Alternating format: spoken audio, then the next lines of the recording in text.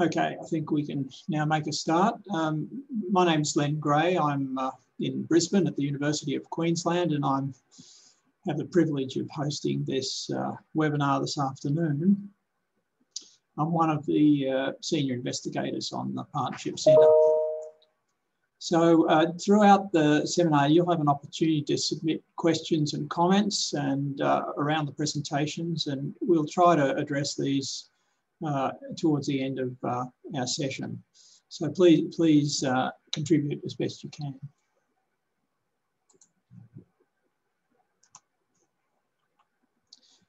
I'd like to uh, acknowledge the traditional custodians of the lands from which all participants are joining and pay my respects to their elders, past, present and emerging. I'd also like to extend that respect to any and all Aboriginal and Torres Strait Islander people who are with us today.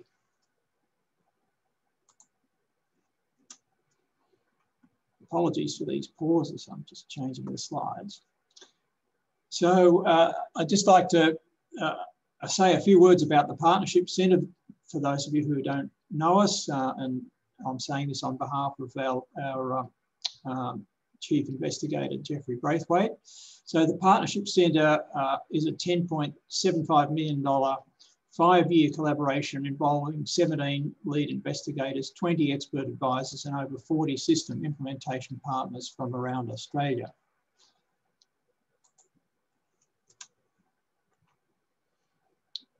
It's a national grant. As you can see, uh, the investigators and partners span all Australian states and territories and work in a whole variety of sectors, including academia, public health, and so forth. Uh, the centre is guided by an international advisory group and a scientific advisory committee and is overseen by a governance authority comprising representatives of the NH and MRC and each of the funding partners. Our vision is to produce research that contributes to the development of a resilient healthcare system, one that's affordable, cost effective and delivers improved health outcomes for all Australians.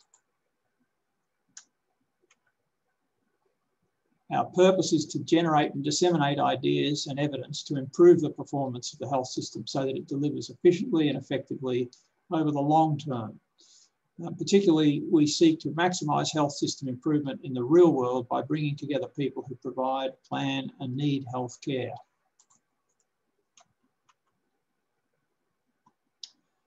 So the Partnership Centre has three main research themes. I won't go through all of these, but um, uh, some of the talks, the talks today relate obviously to a couple of these themes and uh, we look forward to, um, to hearing them uh, from uh, Rachelle and from Tracey. And uh, this, uh, this slide shows you what we're all pleased about and that is uh, over the last three years, our network of collaborators has grown very substantially. And we hope this reflects the importance and the impact of the work that we're doing. And we're grateful to all of those of you in the audience who are contributing to this effort. So that concludes the um, introduction. I'll just uh, make a couple of other introductions before we proceed with the talks.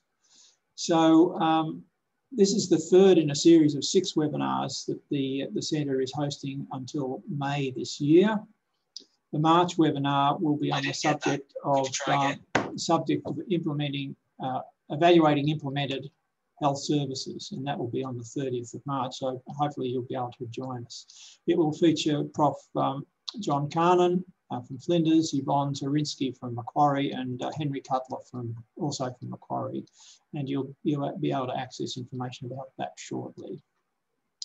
So to get down to the real business of the day and the topic, not yet business as usual, how are alternative models of care changing the health system and healthcare? Uh, we have two speakers, both of whom uh, you'll find very interesting, I'm sure. So Professor uh, Rachelle Buchbinder will speak on her ongoing research on the uptake of hospital in the home in the past decade and whether upscaling it could lead to reductions in unnecessary health system expenditure, really topical um, for the present day. Rachelle is a rheumatologist, a clinical epidemiologist, an Australian NHMRC Senior Principal Research Fellow, and a lead investigator in the Reducing Waste and Low Value Care stream. Um, she's the director of the Monash Department of Clinical Epidemiology at the Cabrini Institute, and she's a professor in the Department of Epidemiology and Preventive Medicine at Monash. So without further ado, thank you, Rachelle, and uh, uh, we're very interested to hear uh, what you have to say. I am I, am hoping that everyone can see my slides. So I'm going to talk about our, our part of the Partnership Centre. And as you've already heard, there are really three parts. And I'm involved in the second one, which is reducing waste and low value care. And particularly part two, which is can we get the same or better care at lower cost? And in the first um, couple of years of, of this grant, we, we did two large um, projects. The first one was to do a scoping review to determine what is known about alternate delivery models. And we reviewed systematic reviews of trials or economic evaluations relevant to high income countries that have been published between 2012 and 17. And this information was given uh, to Australian stakeholders in a Delphi study to try and identify which alternative delivery models of all the ones that we reviewed should be considered further for either further investigation, piloting, or working out whether we should scale them up. And I'd like to acknowledge these three women, Denise O'Connor, Rebecca Jessup, and Paulina Putrik, who really have led this work. Uh, so from the scoping review, we actually reviewed 531 systematic reviews. And today I'm just focusing on the ones that, uh, on the part of it that looked at uh, uh, reviews that focused on shifting care away from the hospital setting to the home. And there were 32 of those reviews. And our Delphi study involved 82 uh, different stakeholders, and they identified 14 that they ranked as the most important. And provision of early discharge at home for people uh, with um, um, with a variety of conditions, sorry, were, were ranked uh, highly. And so that's why I'm going to focus on that today. You can he see here that early supported discharge and rehabilitation at home was ranked number six out of out of um, the, all of the uh, models that we presented. And in the in the text underneath the heading are all the different conditions where there is some evidence or um, papers about the different conditions. And the ones in blue look to be the most promising. So mild stroke, uh, joint replacement, and palliative care. And just at the end, I'll just talk a little bit about another high ranked condition or high ranked priority, which was looking at home versus inpatient chemotherapy. Uh, and that was ranked on number eight. And the ones in blue are the ones where there is some evidence for at least equal uh, health outcomes. So at the end of 2019, uh, the Australian Health Minister, Greg Hunt, um, proposed that he was going to have a revolution of hospital in the home to shake up private health insurance, uh, stating that it would provide more choice, better clinical outcomes, and better efficiency. And he ex explicitly linked the plan to curbing spiralling uh, premiums in the private health insurance uh, setting. Um, these plans have been put on hold really because of COVID, um, but in, in any case, this is, this is our topic for today. And hospital in the home was first introduced in 1994. Again, uh, it was introduced with the idea that it would save costs while maintaining high quality patient care. So the question is, what is the evidence that it actually saves costs? And this is data from a systematic review published in 2017 and overall, there is actually insufficient evidence of either an economic benefit or improved health outcomes for hospital at home compared to in hospital care. And out of all the evidence, um, post elective surgery, mostly orthopedic surgery, stroke and COPD has the best evidence. Uh, and so for, for, for post elective surgery, we know that it uh, probably shortens hospital stay by about four days. So that's there's moderate certainty evidence for that. The health outcomes don't seem to be any worse in terms of mortality or readmission and uh, probably results in slightly higher satisfaction. But there is very low certainty evidence uh, about its effect on costs. For stroke, uh, and this is really mild stroke, again, it doesn't seem to be any worse in terms of mortality or readmission rates. It probably reduces the risk of living in an institution at six months, but that's low certainty evidence. It probably does reduce the stay in hospital. And again, there is unknown effect on costs. And finally, for COPD, uh, there's actually unknown effects on mortality. It might reduce readmission rates and unknown effect on costs. So let's so let's assume that it that it might be cheaper uh, and turn to what the uptake of hospital in the home is in Australia. Uh, this is a study that was published just last year in the Medical Journal of Australia, well after we'd started our project that I'll tell you about in a couple of slides. Uh, this was a study that, that looked at hospital in the home uh, from 2011 to 2017 and it found that it comprised 3.7% of all hospital admissions. The median length of stay was longer, um, but it was less likely to involve readmission or death. And the, lo the longer stay was really because of the home component. And over those six years, uh, the admission rates had increased more rapidly among hospital in the home compared to inpatient admissions. It's important to note that this study was based on 19 of 28 unidentified principal referral hospitals, which means that they're very, these are the largest hospitals in Australia. Most of them would have an ICU. Uh, they'd all have ED, cardiac neurosurgery and ID units. And the data was obtained from uh, data that was submitted to something called the members of the Health Roundtable. Uh, so not all hospitals are members of, of this. And the, and the authors state that there's probably no WA or Tasmanian data among those 19 hospitals. So how uh, generalisable might this be to Australia? Well, we know that there are 693 acute uh, public hospitals and 300 acute private hospitals in Australia. So even though these are the, the largest hospitals, they're by no means the majority of the hospitals. This is just some data uh, from their study. So it showed that uh, it lengthened uh, overall length of stay from 2.7 days to 7.3 days, but it did shorten inpatient stay by two days. And so there was five days at home. These, I'm not going to run through this list, but these are the most common um, conditions that were treated with hospital in the home.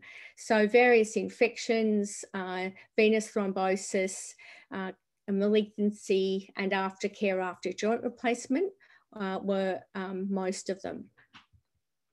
And this slide shows that over time in those 19 hospitals, the rate of hospital in the home seems to have increased between 2011 and 2017 and increased more than the, num the, the rate of inpatient care. So turning to now to what is the uptake of early supported discharge in hospital in the home across all Australian public and private hospitals. Uh, and the, these data has, have been obtained from the Independent Hospital Pricing Authority. And so it contains patient level information on all care episodes across both public and private hospitals. And we've extracted care for patients who've had at least one night in hospital. And uh, the databases are the Acute Patient Care National Minimum Dataset and the Private Hospital Data Bureau we were able, we've been able to look at the patient characteristics just for 2017 to 18 across public and private. We, we started to look at trends over time and our plan uh, in the future is to try and estimate what the potential for cost savings might be if there is an if we can increase hospital in the home use uh, using uh, propensity scoring uh, and using a hospital perspective, so likely to underestimate the true costs, you know, from the, from the patient perspective at least.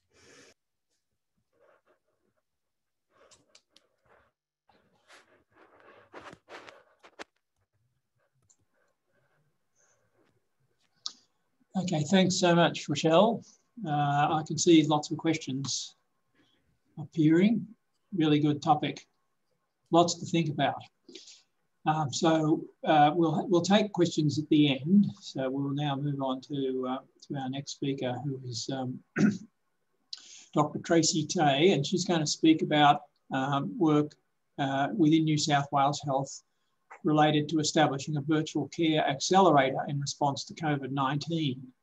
And this is a multi-agency 18-month program uh, aimed at providing safer care and better access for patients during the pandemic. Tracey is a staff specialist anaesthetist at John Hunter Hospital and a clinical executive director at the New South Wales Agency for Clinical Innovation. She's worked in a number of clinical and management roles throughout her career, including Director of Perioperative Services at John Hunter, clinical lead at the ACI for four years until 2016. And she has extensive experience supporting clinicians and managers to their service, redesign their services to improve care for their patients and clients and developing practical partnerships across the primary, community and acute sectors to develop explicit and locally agreed pathways of care. So it sounds very interesting, Tracey. So over to you. Thank you. Thanks, Len. I'll hopefully share screen fairly quickly. And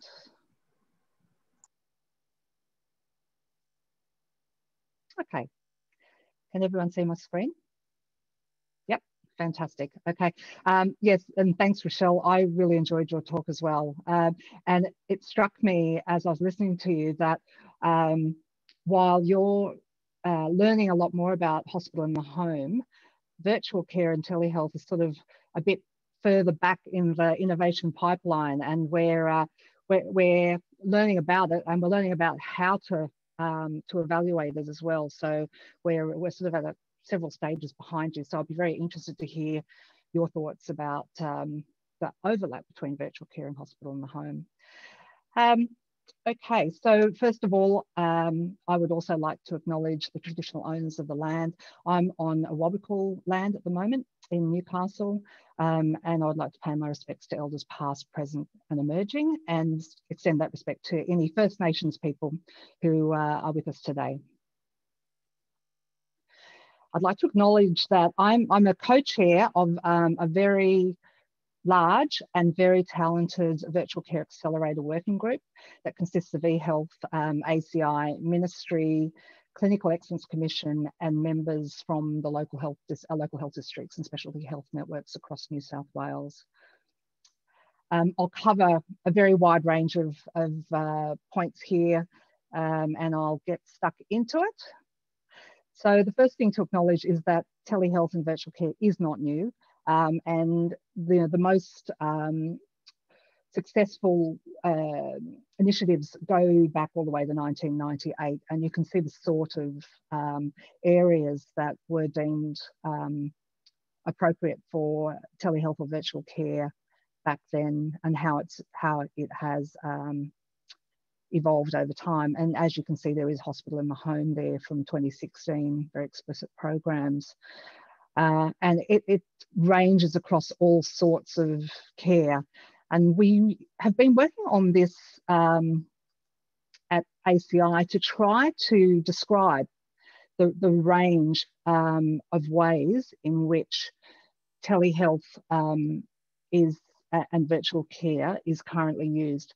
And I think the exciting thing for us um, doing this work is that we actually don't know where it will go in the future.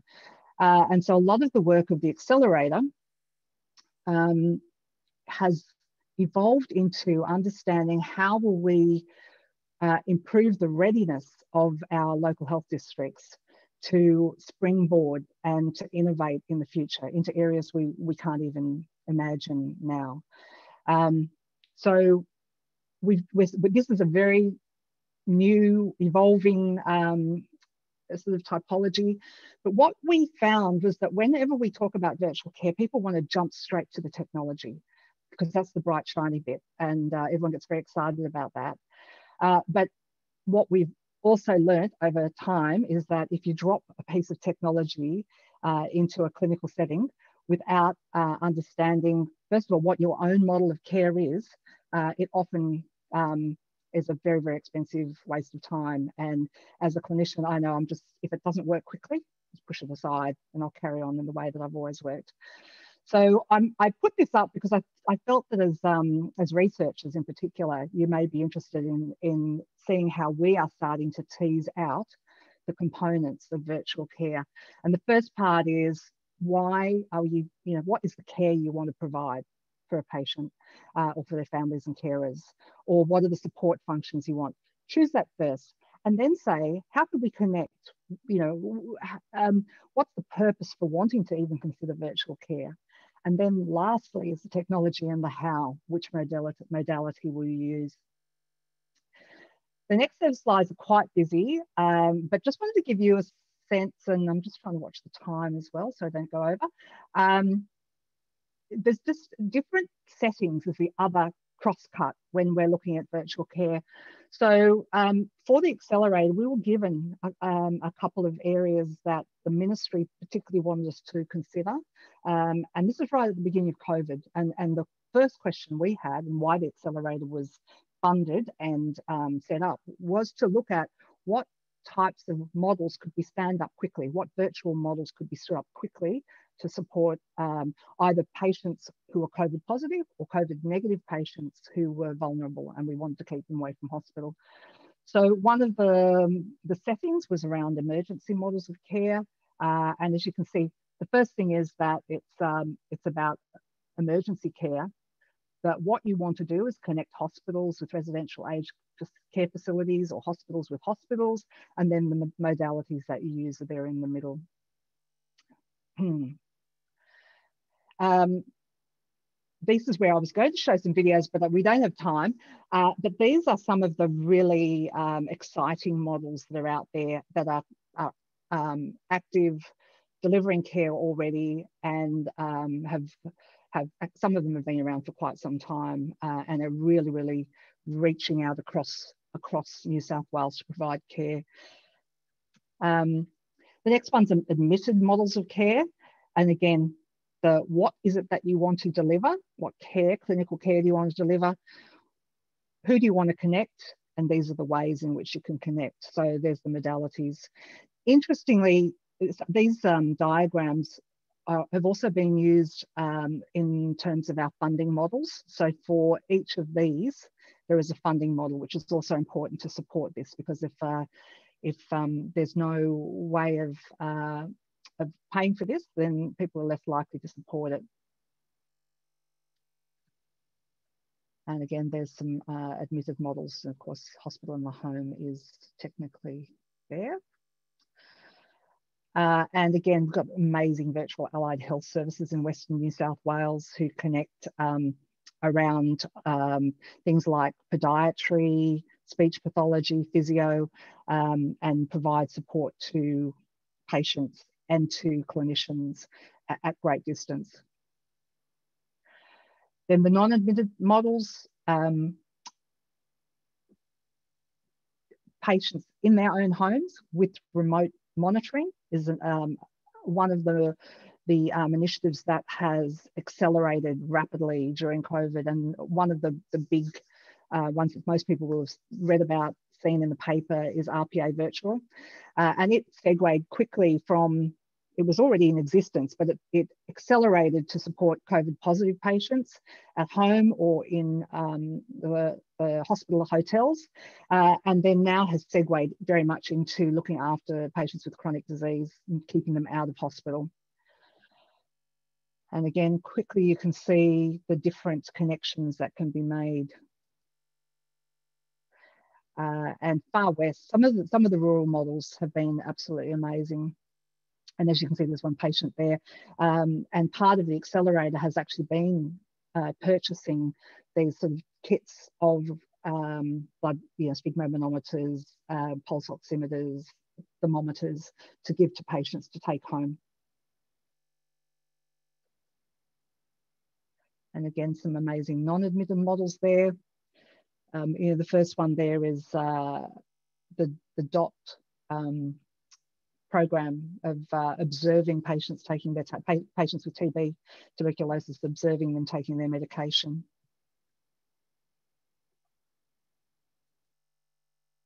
Okay, so to the Virtual Care Accelerator, um, which is the this multi-agency uh, unit that has been um,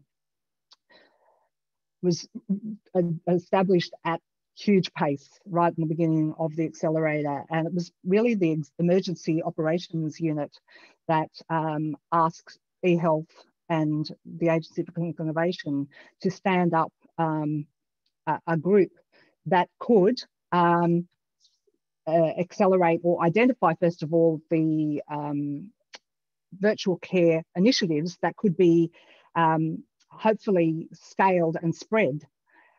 What happened, of course, is that COVID, um, the threat of COVID has over time gradually declined, although it's still there. And so what happened was rather than concentrate only on five, six, seven, eight different uh, models, what we've now been asked to do is to start to consider what does the next five years of virtual care look like? Uh, and it's a really interesting space to be in because what's happened is we had all these very rapidly established units. Um, and some of them uh, have been absolutely amazing, others have started to fall away. And evaluation of a unit uh, and a process that has been rapidly stood up um, doesn't actually tell us what that same unit process, if it had been established a, uh, in a more considered way, whether or not it could deliver better outcomes. So we're in this funny space of, of uh, trying to identify uh, how we will measure patient experience, clinician experience, health outcomes, and cost of care um, but if we apply that to our current initiatives, we may find that um, they don't um, show as much benefit as if we had established these initiatives um, in a more considered way. So uh, I think it's very interesting at the moment looking at the research uh, and the evaluations of the current uh, virtual care initiatives across the world and I don't even know really what it's telling us. So uh, it's, it's a, an area of great discussion for us. But at the moment, what we've said is let's use this time to make sure that districts across New South Wales have the foundation pieces for good virtual care. Um, in the beginning, we, we did identify eight key focus areas, aged care, home monitoring, um, facilitating communication was particularly around isolated patients and families. And we, we wanted to have the technology available and the processes available to support um, people who are isolated and potentially um, might die without contact with their families. Um, inreach and outreach, sort of outpatient clinics is the main um, contender there. Intensive care, EDs, ambulance, research and evaluation. Um, my virtual care is a skin that sits over the platforms that are used for uh, virtual care video conferencing in um, hospitals and clinics. And uh, it allows um, uh, scheduling, easy scheduling. So we, we just send the link to a patient and their family care. Um, the person goes into a virtual waiting room is seen by a nurse and then enters the, the room of the um, clinician, you can invite up to 100 people into that discussion. If, uh, you know, for multidisciplinary team meetings, you can invite, um, you know, the daughter in the UK or the son in the US to join this conversation. Um, and it, it, works very, very smoothly. Um, and so we're trying to roll that out across New South Wales. The numbers of um, clinical consultations through virtual care are rising. But the very interesting thing is that virtual care, after peaking, um, you know, sort of late last year, is now starting to decline, and people are starting to fall back to more face-to-face um, uh, consultations. So, as I said, we're very keen to make sure that we use the time now to establish a basis for the future. This is very draft, very early, um, but what what uh, you will probably recognize this as, as a program logic, a logic model. And uh, you can see that there's some foundational activities in the blue, what we are doing. And that's really where we're focusing the work at the moment. But over the next year or two, we will be moving into a five-year strategy and starting to measure the um, health outcomes, experience of care, experience of delivering care and the costs. And I've mentioned those.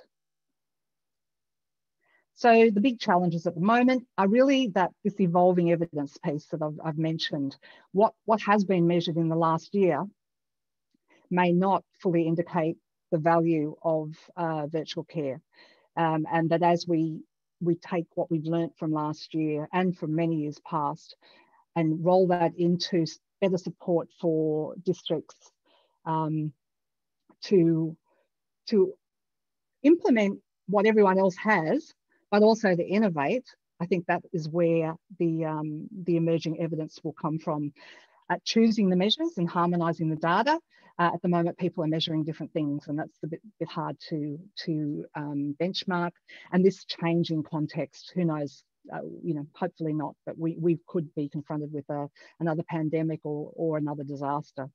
Um, again, the other challenge is that people want to dive in and, and uh, assume that if you implement a technology that um, things will change. Uh, and we're trying to change that conversation to clinical first and technology second. Um, and then this last slide, safety is something that we're very, very um, uh, aware of and keen to measure. The appropriateness, when is virtual care um, the best for patient, their condition, and for the clinicians involved. Um, and sometimes it's a hybrid. Um, the patient and clinician experience is absolutely vital. If people have poor experience, they don't return to the virtual options. And that is very much um, at the mercy of what uh, communities believe, as well as has been seen in the media in recent times. Uh, and that's really all I wanted to share. Um, but again, very happy to take questions. So thank you very much. Thank you, Tracey. That was uh, great, massive challenge. Like that looked really, there's a lot of complicated issues there all mixed up and to make sense of that and turn it into a program. You've got five years, that's very good. Be exciting to watch. So we have quite a few questions and um, so um, I'll, uh, I'll present them to Tracey and Rachelle, and I'll start from the top. We might not have enough time to answer them all, but we'll do our best. So, um, so first question was about, for Rachelle, uh, of the conditions that are supported as appropriate for hospital in the home, is there evidence for improved outcomes, reduced cost, experience of care for virtual hospital in the home? I guess the, the this take I'd put on that is um, if you deliver hospital in the home it in part or fully virtually, does that reduce the cost and therefore improve the uh, uh, the equations around cost? You'd have to think that because travel is a, is, a, is a necessary overhead in the traditional HITH model. Yeah, so I mean, I don't know the answer to that question. There were no systematic reviews of virtual HITH. Uh, but as one of the questions is later on is it, it's not just the cost to the health system it's a cost to the carers and and um, so uh, yeah i don't i don't think we know that at the moment. Um, so i don't know.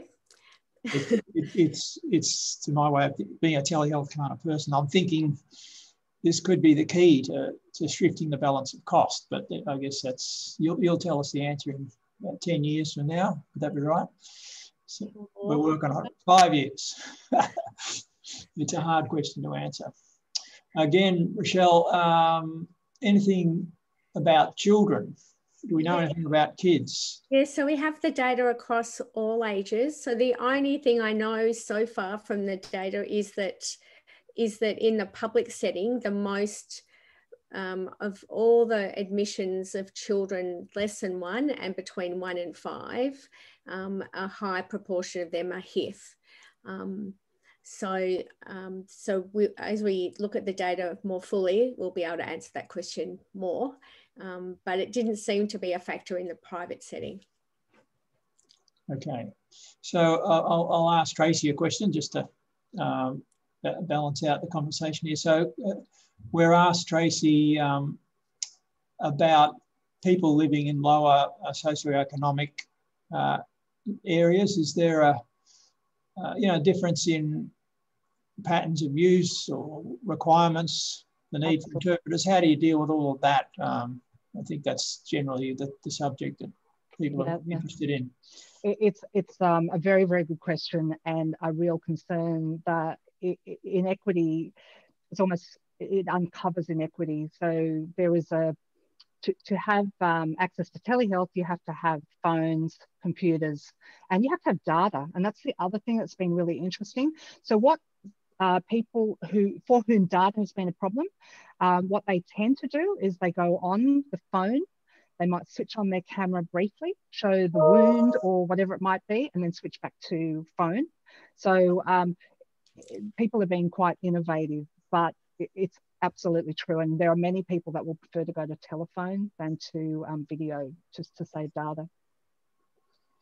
Yeah, I think, uh, again, from my experience, we, we, we hope that the community um, availability of these kind of ubiquitous or near ubiquitous technologies just improves for everybody. That will certainly help with the equity problem. So, uh, Rachel, uh, Rachelle, um, I've got a question about uh, staffing mix.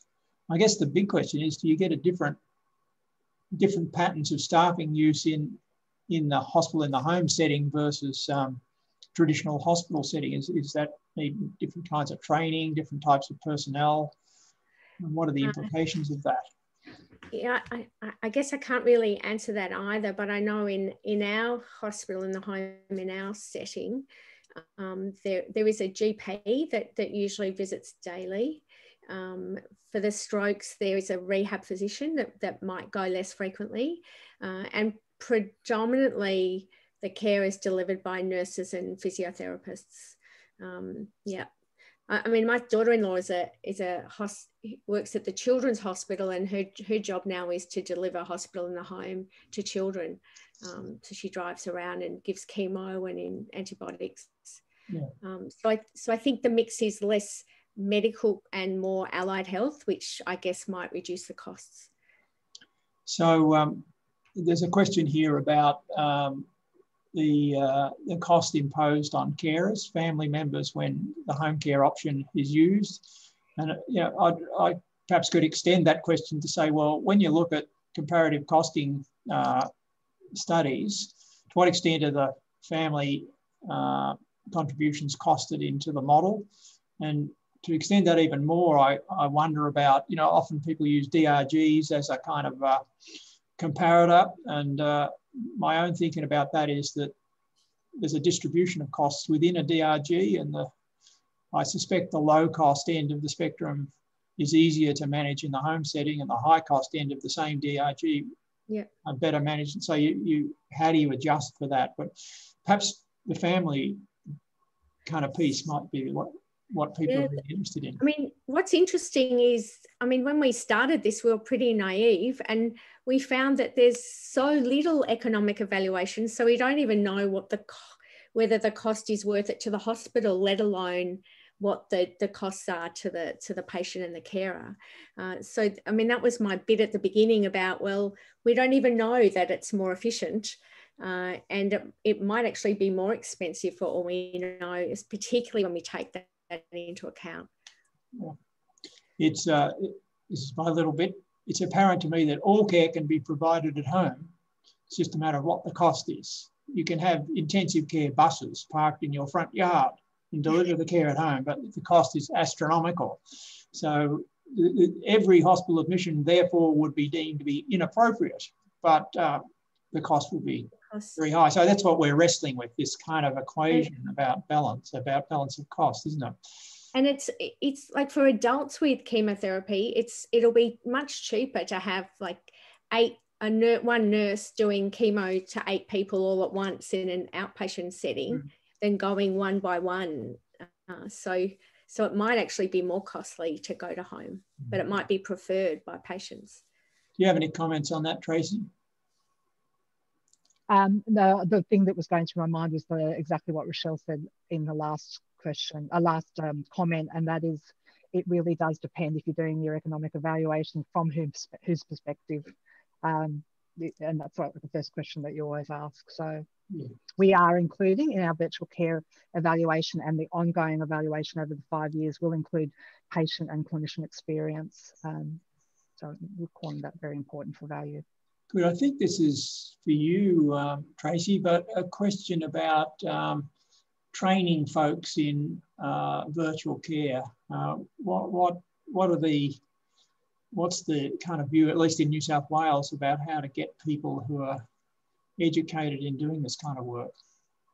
So we, we as I said, this is very early days. Um, what we have is we're developing um, modules for training, they could very easily be used um, in undergraduate or postgraduate um, teaching and training. Uh, at the moment, we're, ju we're just getting them ready so that current clinicians can use them. Um, as I said, this is all very rapidly, very COVID related, but um, absolutely. And it, the important thing really, and I probably should have started this way, is that virtual care is just care. It's care um, telemedicine is just medicine. And so what you're doing is, um, you know, for example, when I started um, as a medical student, uh, there were only this many tests to do for heart disease or for, for whatever lung disease. And now there's many, many more. And so I think for clinicians coming through now, um, and with our foundational pieces being embedded, by the time they get out, uh, virtual is just going to be one of the ranges of options um, that may be the most appropriate at the time. Lots of good questions here. Um, uh, I have a question to Tracey for you again about, I think you referred to declining numbers of people using uh, virtual care. Is, um, you got any kind of insight into who's not using? Is it, is it particular groups of patients or what, what's the what's under, underneath all of that?